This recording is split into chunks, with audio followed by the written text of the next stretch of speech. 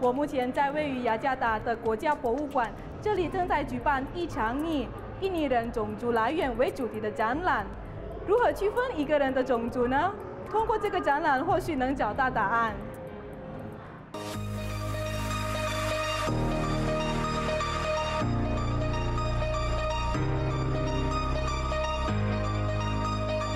印尼具有丰富的种族及语言。这场展览展示了一些志愿者的 DNA 测试结果，通过这个结果公布了他们的种族来源。我们现在来跟博物馆负责人了解一下。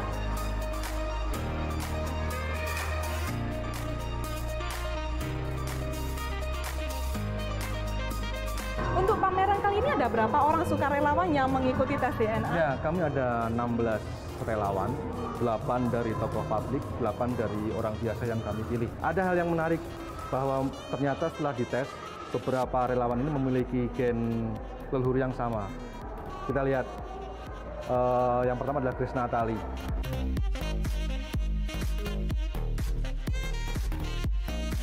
Dari fisiologi kita memang lihat dia oriental, yang yang orang lihat orang bilang ini Asia Timur nih pasti ini ternyata setelah tes gen memang betul sebenarnya ada gen dominan cuma nggak ada gen tunggal nggak ada.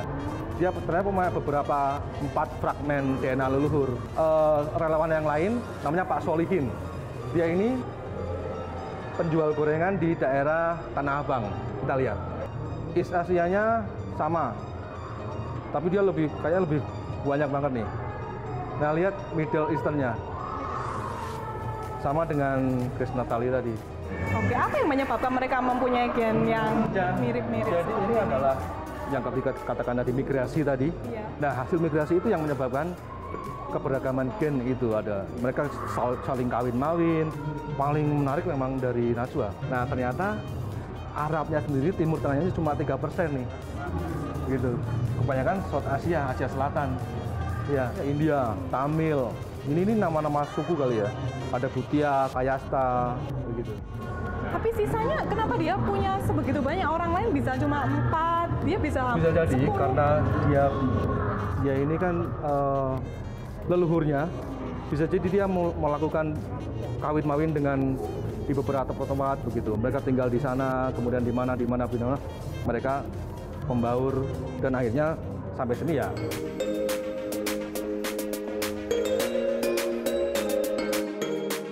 semua meyakini bahwa manusia itu berangkat dari Afrika. Begitu. Baru mereka menyebar. Ada yang ke Eropa, ada yang ke selatan, bahkan sampai mana-mana. Ini manusia modern. Kemudian itu migrasi pertama dari Afrika.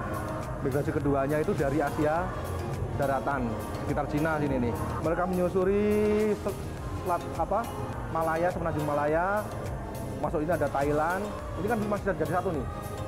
Jadi satu begini nih.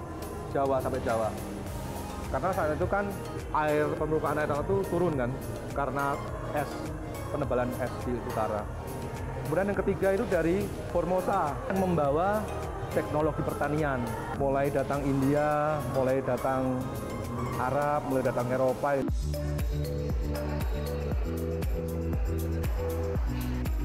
此次展览也展示了人类进化与古早期的相关信息，如头骨复制品。 为了提高与顾客的互动，这里也提供了各个种族的脚印，如亚洲、希腊等地，顾客能参照图解来判断自己属于哪个种族。Menurut saya cara belajar yang efektif salah satunya seperti itu dengan langsung mengunjungi atau langsung namanya praktek. Jika kita hanya membaca dari buku literasi, tapi kita nggak tahu aslinya itu akan sangat susah untuk uh, memperdalamnya. Jadi lebih baik itu datang langsung praktek kita lihat. Sebaiknya diperbanyak biar apa ya siswa-siswa itu bisa lebih tahu tentang kebudayaan Indonesia dan kita sendiri bisa melestarikan kebudayaan kita gitu.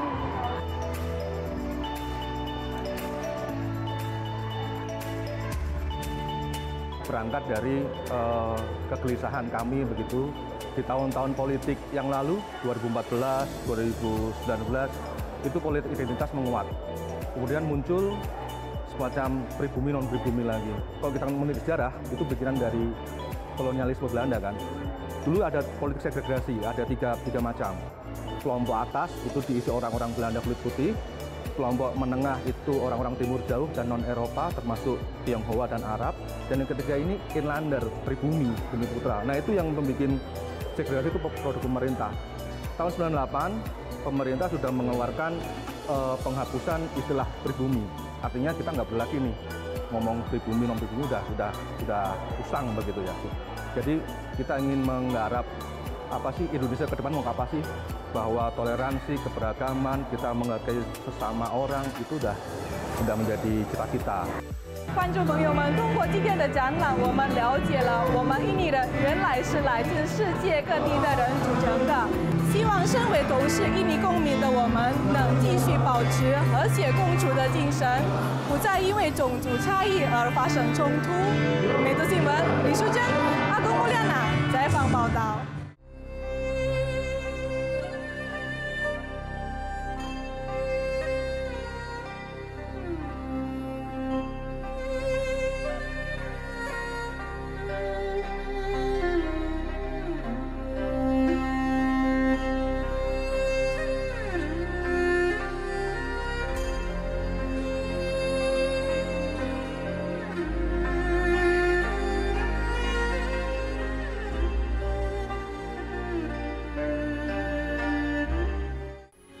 Metro TV, knowledge to elevate.